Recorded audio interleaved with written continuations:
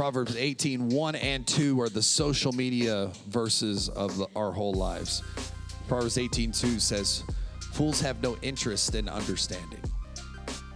They only want to air their own opinions. Let's pray. Lord, we just come. right? But guys, this is our society at whole as a whole. We listen to have a comeback. We don't listen to understand. We don't listen to let it take hold in our heart. Because listen, I'm picking out Wesley because he's right here, and me and Wesley were good. Wesley and I can have a different opinion on something. You know what? I can still love Wesley even though he's wrong. Amen. You, I love you, bro, right? But the problem is we don't listen to each other.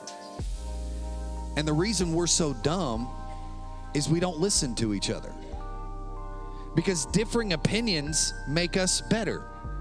It either makes us go, huh, I never thought of that before, or, you know what, that's a cool opinion, but I still believe what I believe. And we we are in love with the sound of our own voice. But as true friends, we are called to listen over being heard.